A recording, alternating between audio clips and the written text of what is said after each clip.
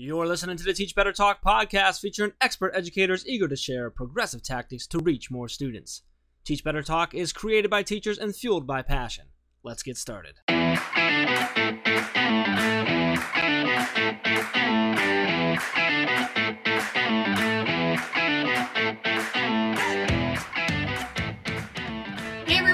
Welcome to episode 199. 199 episodes. Oh my gosh, of Teach Better Talk. Y'all are crazy if you're still listening. Anyway, my name is Rae Hughart, and as always, I am with my dynamo friend, Jeff Gargas. Hi, Jeff Gargas. Hi, Dynamo, huh? I like well, that. You know, we, a we little, have a little foreshadowing into the, the episode. Yeah, cool little soccer talk that we're going to get into a little later. But um, before we do any of that, I do just want our listeners to know Jeff and I always start with bantering. You guys know that we're just going to goof off for the next few minutes. But this episode's so good that if you're completely deterred by us, just hit that little like go ahead 30 seconds thing and get straight to the episode.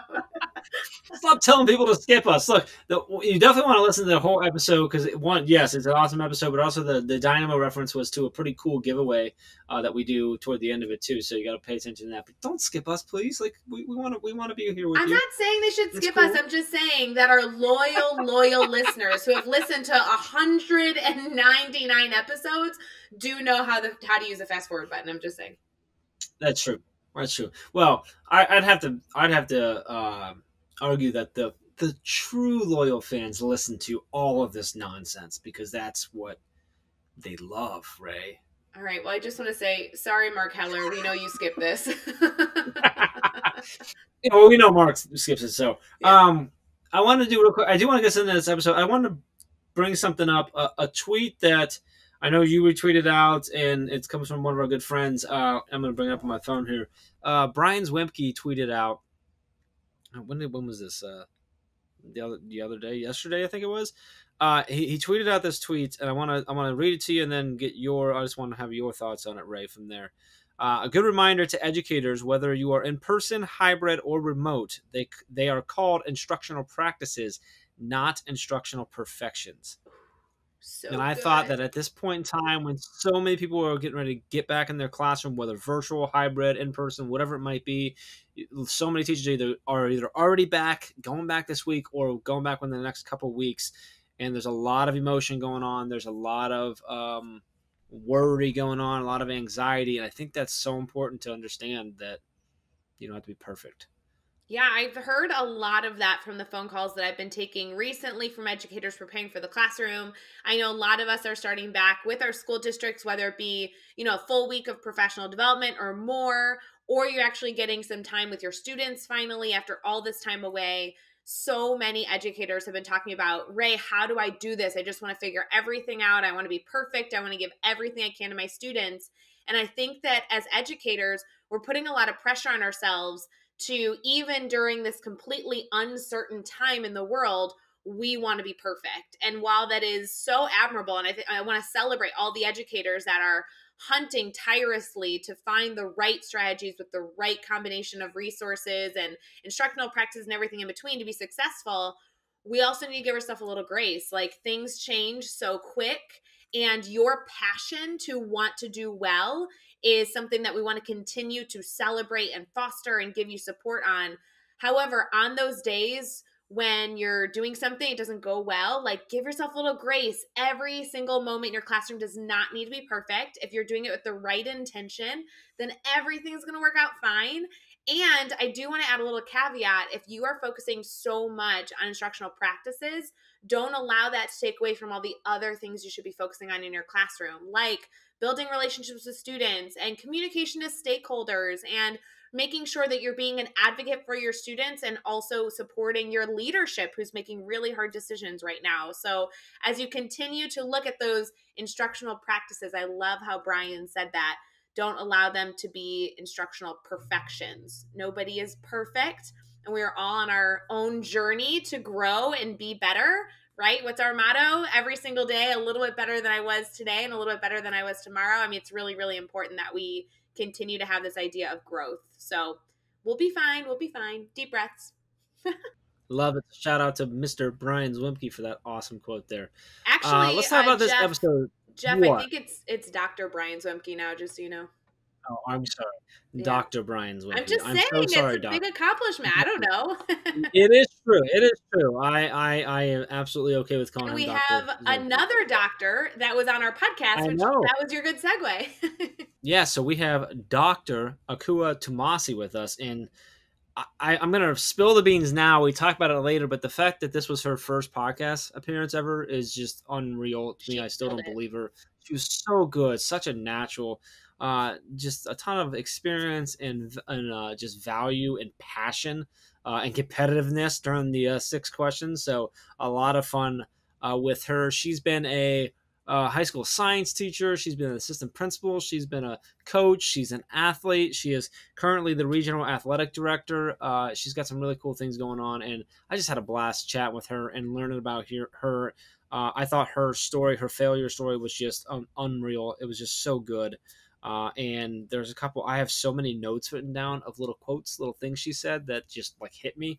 That I just I'm so excited for everyone to listen to this episode. Rae, anything you want to add into that? I am a huge fan. No, I always say this, right? Like make sure you're staying connected. We just mentioned two incredible educators, three if you count if you count like crazy Mark Heller.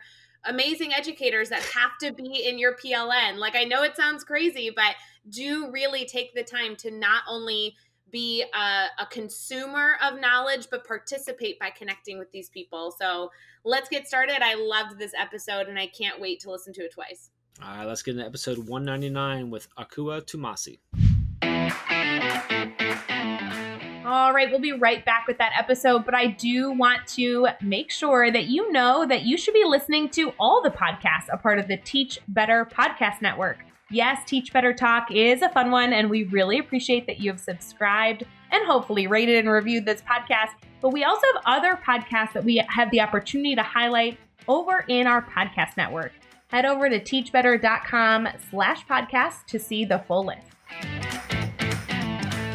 All right, we are here. We are chatting with Akua Twumasi, and oh my gosh, it's so much fun talking with you so far. I wish we would have hit record earlier because we've been laughing and having a good time, and uh, just getting to know each other a little bit before we hit record. So super excited to have you on the show. Excited to kind of dive in, get to know you, learn about your story, and and and uh, just chat with you more. But before we go too far into it, how are you feeling right now? Well, Jeff, I am feeling pretty good. I'm excited to be here with you all. Um, like you said, completely 100% enjoyed our banter before um, we started recording. So I'm really super excited um, to move forward. No, cool. I'm so glad you're here. It's going to be so much fun. I've already been stalking like crazy on social media. And I, along with I'm sure all of our listeners, cannot wait to hear your story and just everything that's going to come out of this amazing podcast. The most important, of course, being that you already admitted that your team Rae, which made Jeff feel like the third wheel, which was perfect.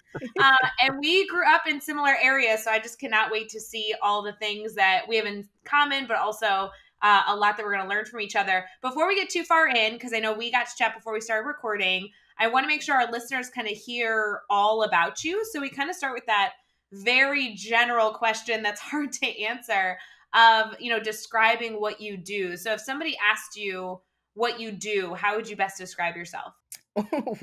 Correct. Very, very hard. Um, but Rae, I am by title the regional athletic director for KIPP Texas Public Schools in Houston um, but that it is just the title. Um, I serve um, in underserviced areas, helping students, scholar athletes, their families um, to kind of navigate uh, this athletic process and all that it is.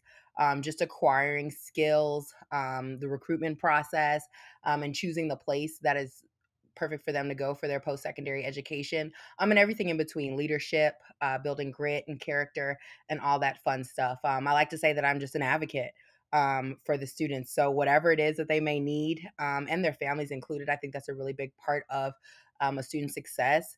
I'm there for it. Um, always down for the cause. Um, I definitely feel that this is my my life work. So, um, what I do is so much more than just the title. It's definitely uh, getting down and dirty and trying to figure out how we can make all of our students successful, regardless of where their original talents lay. Mm, I love that. And how long have you been in that role? Because I know you've also you've been you were a science teacher, you've been an assistant principal, you've had quite a few different roles in, in education. How long have you been in this particular this this title right now? So fun fact. Um, I got this job in February, and then a couple Oh. weeks later, COVID happened. Oh, geez. so Yeah, that, puts, I, that's- that makes um, your your start of your job a little difficult, huh? Right. So learning a new role. Um, I've aspired to to be in an athletic director role for for quite some time, but learning a new role, learning a new organization, and learning how to live in a pandemic has been 2020 for me. So it's definitely been interesting. Mm. And so I got to assume so the dream was to be athletic director. Where what what sport was yours when you do you currently play a sport? Did you play a sport all through, you know, your childhood and stuff? What was that? What's your go-to? Absolutely. So my first sport is soccer. Um, my dad was my first coach for several years, um, and I don't know if that was a positive or negative. I'm still trying to figure that out. But um, uh, that is a sport I played for all of my life. Will definitely step out right now and go play a game of soccer. Um, so close to my heart. But um, all of the sports I love. Uh, basketball, volleyball, football. Um, I, I think I'm a little over competitive, um, and so I like uh, any any type of challenge. Um, so definitely have a, a heart for all of the sports. Love Jeff, you know got two- that we have a good guest on when she talks about soccer because you and I I was gonna both we got two love a good soccer fans here, game. Yep. It's good stuff. So, all right, let's talk. So, you know, one of the things we always talk about on this podcast is uh, failure. I always say that I've been fortunate enough to fail a lot in my life because I feel like it's taught me what I need to know to be where I am right now. So, can you share a story with us about a time that you've had a failure in, in your life and how you had to overcome that? And then what did you take away from that experience? Absolutely. Um, well, before there was 2020, there was 2012, and 2012 was exceptionally um, real for me. A recent grad in my first job, and a lot of things started to kind of fall apart and collapse around me, including um, job wise, um, financial. Um, relationship right so everything that i had known coming out of college where you're like i know everything i'm an, i'm an adult it's all together was kind of falling apart and um, at the end of that year, one of my students was shot and killed in Kansas City, Missouri. Um, and then I'm just driving, minding my business. Um, life is just really not fun right now. Um, and like the engine literally falls out of my little Toyota Scion. And so, um, sobbing, I call my dad and I'm like, listen, I don't know what to do, but this, none of this is working. Um, and that- that's how I ended up here in Houston, actually um, my dad was like, "Well, we'll put your life back together, essentially, but you have to come closer to the family." And they had moved down here while my sister was in college because for some reason she decided to go to UT. So um, they were here in Texas, and I, I joined um, and started to build um, my life back and the things that I thought were to be true. Married with kids by 25, and um, all of those things. I'm I'm a big shot at my job because I'm just so brilliant, and everybody wants to know me and talk to me um, and all of those things. Uh, just trying to find myself um, w- was where I was at, and so um, I, I started to live um, more humbly. Number one, but also I started to reflect on what it is. What is it that you really want? And so you've had this dream of being an educator for years, but what does that mean, and why do you want to do that? And so I, I, spent a lot of time processing that, um, working odd jobs that were not in education, um, kind of passing the time and resetting up my life. And what I took from that is that um, your purpose is is ingrained. It's set in you, um, and, and you have to stay true to it. And and you have to to work work actually work towards it. Right? It doesn't just show up. It doesn't just come. You're not automatically going to be good at something because that's what you want to do.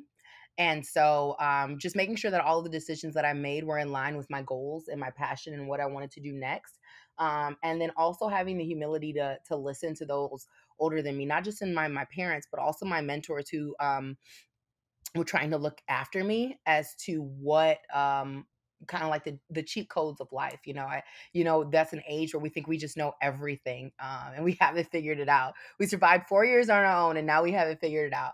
Um, and so it was just a really um, humbling time in my life, but it just taught me um, that you can learn anything um, from anyone, and that if you align your life, uh, your actions with your goals, you'll see a lot of a lot of progress um, and, and where you want to be. And then just to just stay true to yourself and stay true to um, the fire that burns inside of you. And so um, it, was a, a, a tough year, but um, come 2013, I started a, a, a wonderful, wonderful um, excursion in Houston, Texas that has been very, very promising and fruitful thus far. And and so other than the heat, I think I can say I like it here. well, I love that story. I love that you can learn anything from anyone in your life, and just the the whole the whole idea of, of staying true to your to yourself, staying true to your purpose, and, and really reflecting and figure out what that true purpose is. I love that. So let's let's flip that around now. Let's talk about a successful moment you had. It's gonna be something big, something small, but tell us what happened. Why was it a success for you? Then what did you take away from that experience? Awesome. Um, so when I was in Aldine, I was an assistant principal at MacArthur Senior High School. Um, I oversaw the athletics departments, the science departments, and a couple other areas and, and teachers. But um, athletics is is super close to my heart, and I was hearing a lot of conversation about how our female student athletes were this or that or not competitive enough or not into it and um and all of these kind of complaints and so i thought what can we do what do they need and and i've always been a big proponent of um finding people or things that can motivate you and, and inspire you consistently um and so i have what i had what i call a shower dream you know where you have all your best thoughts um, in the shower. But by the time you get out, you're like, okay, life is starting. I need my coffee. I got to get to work. And then you get to work and all these things happen and you kind of forget. Um, but I thought of what would it be like if we had um, an event that could empower young female athletes um, to work harder, to um, give them the opportunity to see others that sat in their shoes and what their post secondary uh, athletic pursuit look like um, and just to let them know that there was there's something more um, to being an athlete just, than just going around and and kicking a ball or, or shooting hoops. It, it's a development um, as a leader as a team player and also somebody who that that gets to understand how important skill acquisition is if you can learn to do x y and z on the field or on the court you can learn to do x y and z in life um, and so I thought in my brain, I said, what if we have this event, we bring in guest speakers, we have panel members um, that went to their school, and I just built this whole vision. Um, and then the first year started, and there were all of these um, roadblocks and technological issues and all of these things that were very, very rough and took away from the original message that as women and student athletes, we can empower one another to achieve academic and athletic excellence. Um, but in my last year in Aldine, it had turned into a district wide event where I had a group of young girls called the Girls Athletic Leadership Committee. Um, and they led events in their schools, um, bringing uh, student athletes together, supporting all types of UIL competitions, including band, choir, one act play, um, and building culture and community in their schools. But also um, setting up this culminating event at the end of the year where we had guest speakers. And the last year we had um, the first daughter of Houston, Ashley P. Turner, um, give a charge of excellence. And she just talked about um, being about uh, your business and focusing on what you want um, and letting distractions like social media and boys um, go. And then we had other guest speakers that just talked about their journey and how um, they gave everything they had to athletics. But at the end of the day, that's not it. And all of these characteristics and traits that you need to be successful. Um, we also brought back a panel of previous MacArthur graduates that talks about what it was like to play ball in college. And so um, all of these kids got to see uh, people who were just in their shoes doing things that they thought were impossible. Um, and so it, it, was just super fun and super inspiring.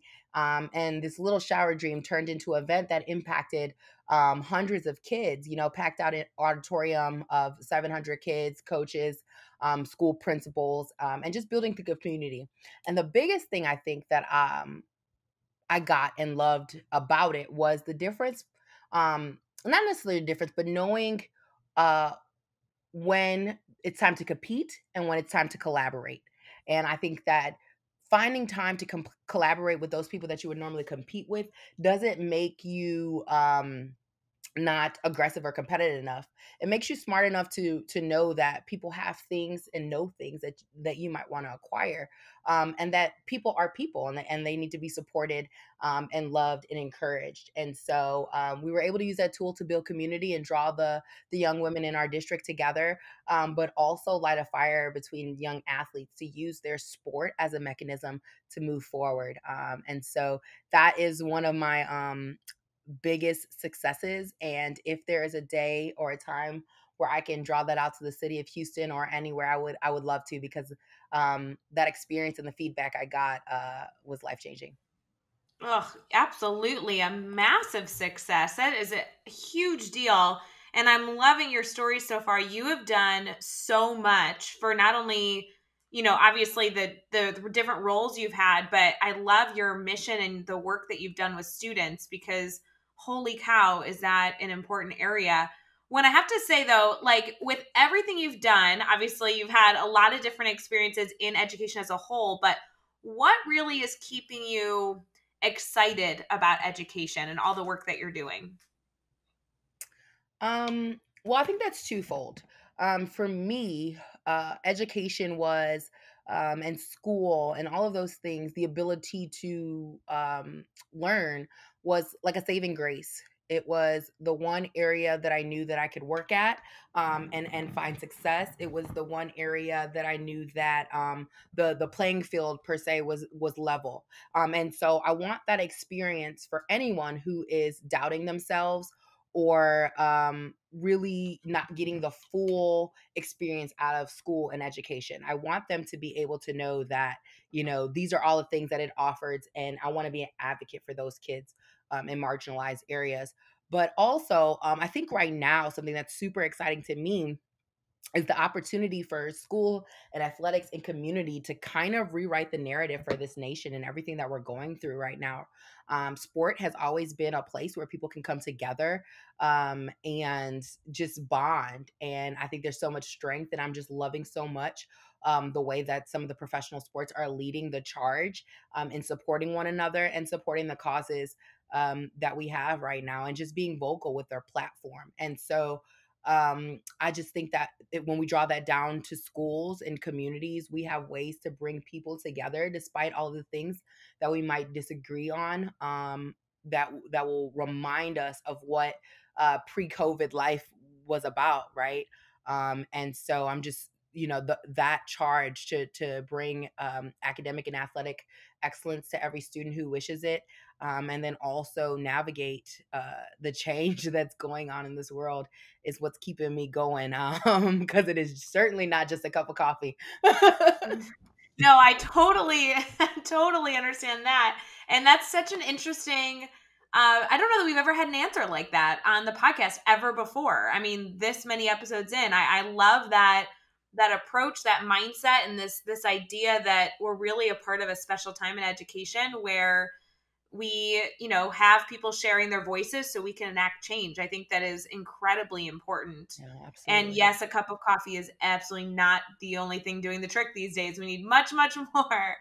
Um when it comes to advice right like i'm confident that you like dish out great advice all the time but when it comes to advice for whether it be a new teacher or a veteran teacher, you know, I, I think that we're all kind of first year teachers all over again, no matter what um, role that we're in right now. It is unprecedented times. But um, what type of advice would you give an educator right now?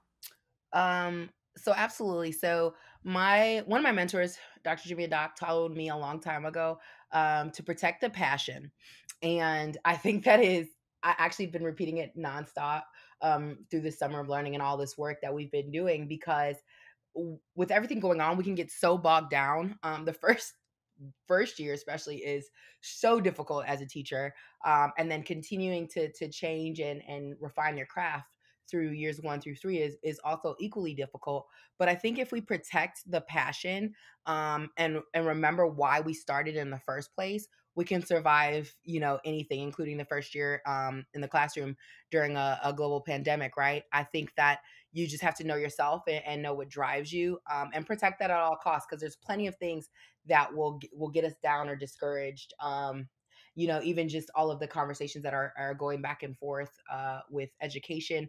And are we starting all virtual or do we have to be in the classroom and all of that back and forth, right? That's enough to make anyone tired. Um, but we have to remember why we do it and why we're here. Um, and so she said that a long time ago. Um, and I am holding on to that uh, even to this day. Oh, I love that. Protect the passion. That is so good. Uh, that's I, I wrote that down. That's staying on there. Uh, I love it. So let's let's let's have some fun here. Actually, before we go into the, the six questions, you wanted to do something fun today and do a little bit of giveaway. So what? Let's let's tell everyone what do we got. What do you want to do some giveaways with? Awesome. So, um, KIPP Texas, Texas Public Schools has been able to forge an awesome partnership with Soccer Starts at Home and um, Houston Dynamo. The author of the book, Tom Byer, um, has established that uh, learning um, and skill acquisition happens much younger than we thought. And so, we're integrating this this program into KIPP Texas Public Schools to help kids um, essentially learn how they learn and build um, those connections from brain to foot that will strengthen all the other connections while they're in the classroom. And so, um, on behalf of my fun friends at the Houston Dynamo and Dash, we'll go ahead and give away a Dynamo hat and t shirt for our listeners today. Woo-hoo. All right, so that. we need them to so so we need them to, to tweet something out. You got to make sure you you tag everyone here uh, that you hashtag Teach Better Talk, hashtag Teach Better, and then make sure you tag the Houston. I mean Houston Dynamo. I think that's got to be important, right? Absolutely. Uh, and we'll keep an eye out for that. And that's awesome. So that that's like so unique too. A lot of times it's books, which are always great and really really cool. This is a hat and a, and a t-shirt we're gonna give out uh, for the Dynamo. So you know what? You don't even have to like the Dynamo. I think it still works. But I'd love to hear in your tweet like if that's your team or not. Um, you know, those of you who know Rae know she's a Chicago Fire fan. So You know, I, know. I do have my favorite teams, but like I said before we started recording, I would totally go to a Dynamo game in a heartbeat. heartbeat. so that's what that is. That is awesome. That's a really cool connection there. All right, let's let's keep having some fun here. We're gonna do the next six questions, and your goal is to answer each one in 15 seconds or less. You ready? okay. Chi Town talks fast, so I'll, we'll see. It's like a competition. I told you I was competitive. All right, here we go. what is one ed tech tool you cannot live without? um everything google classroom and then also blown assignments which is a software that measures student achievement metrics Uh, what's a book you're reading right now? I'm actually reading three books mexican gothic by silvia moreno garcia dreams from my father barack obama barack obama and then start with why by simon sinek Uh, who do we need to follow on uh, social media today? um my mentor dr latonya goffney um, at dr goffney d-r-g-o-f-f-n-e-y um, and coach ola adams uh, at coach ola adams um, he is the defensive coordinator um, at villanova and they're both super inspirational um, and fun and, and heavily rooted in education